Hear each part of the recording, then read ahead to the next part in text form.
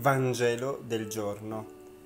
Mercoledì 22 luglio, Santa Maria Maddalena.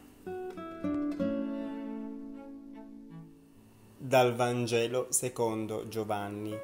Il primo giorno della settimana Maria di Magdala si recò al sepolcro di mattino quando era ancora buio e vide che la pietra era stata tolta dal sepolcro Corse allora e andò da Simon Pietro e dall'altro discepolo, quello che Gesù amava, e disse loro, hanno portato via il Signore dal sepolcro e non sappiamo dove lo hanno posto.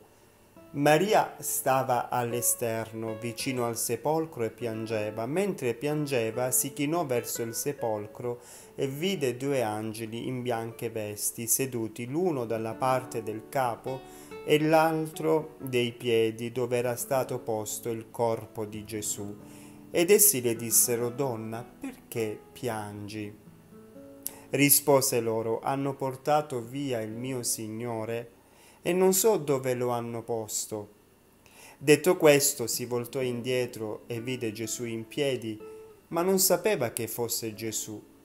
Le disse Gesù, Donna, perché piangi? Chi cerchi? Ella, pensando che fosse il custode del giardino, gli disse, Signore, se l'hai portato via tu, dimmi dove lo hai posto e andrò a prenderlo. Gesù le disse, Maria. Ella si voltò e disse in ebraico, Rabuni, che significa maestro. Gesù le disse, non mi trattenere perché non sono ancora salito al Padre, ma va dai miei fratelli e di loro, salgo a Padre mio e Padre vostro, Dio mio e Dio vostro. Maria di Magdala andò ad annunciare ai discepoli, ho visto il Signore e ciò che le aveva detto. È una delle scene più belle del Vangelo in cui si racconta la risurrezione di Gesù protagonista è una donna che aveva tanto peccato nella sua vita, che aveva vissuto di adulteri e immoralità. Un giorno questa donna, per una strana situazione, incontra Gesù. Gesù le guarda il cuore, le cambia la vita, le perdona i peccati ed ella va via ricordandosi le parole di Gesù. Chi ti ha condannato? Nessuno, Signore, neanche io. Va e non peccare più. E questa donna ha vissuto con questo richiamo, con queste parole.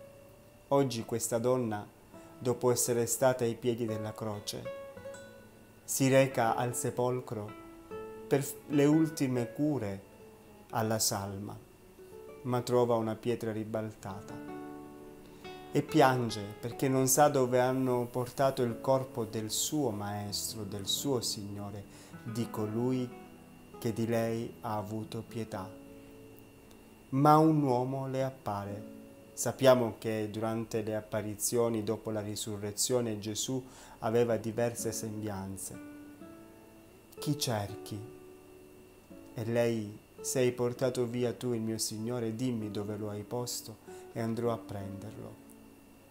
Maria, con quanto amore Gesù avrà pronunciato questo nome e lei, con quanto tremore ha risposto Rabuni, maestro. Cosa avrà avvertito nel cuore in quel momento.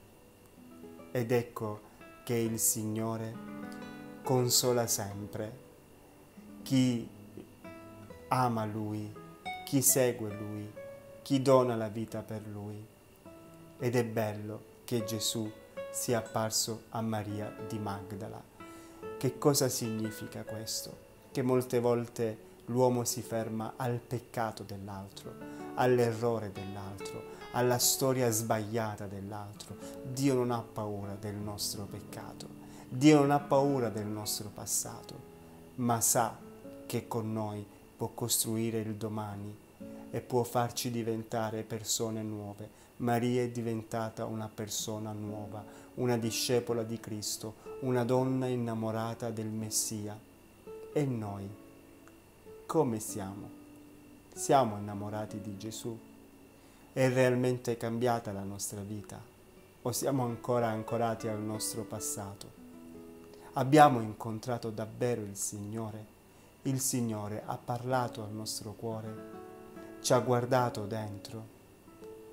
Siamo riconoscenti per tutte le volte che il Signore si è fatto compagno del nostro cuore.